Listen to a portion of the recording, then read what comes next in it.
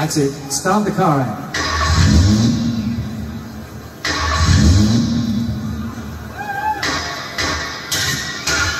To